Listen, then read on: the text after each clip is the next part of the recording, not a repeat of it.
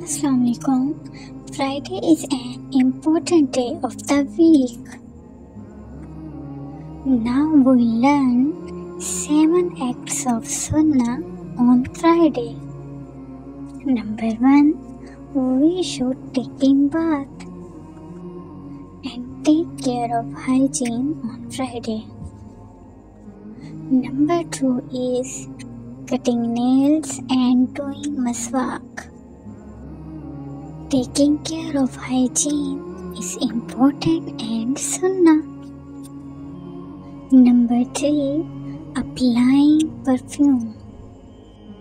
Our Prophet Muhammad, peace be upon him, apply it on Fridays. Number four is going to the masjid and offer salat. It's sunnah to offer pray in masjid.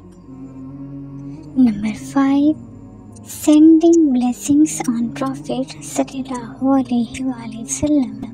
That is recite Allahumma salli ala Muhammadin wa ala ali Muhammadin kama sallaita ala Ibrahim wa ala ali Ibrahim innaka hamidum majid.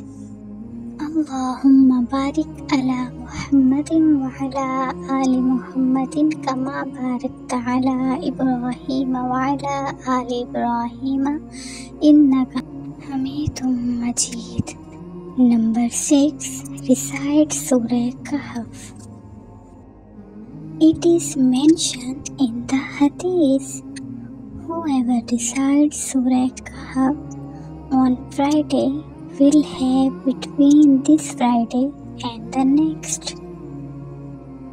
Last one is to make lots of dua, especially between Asr and Maghrib prayer.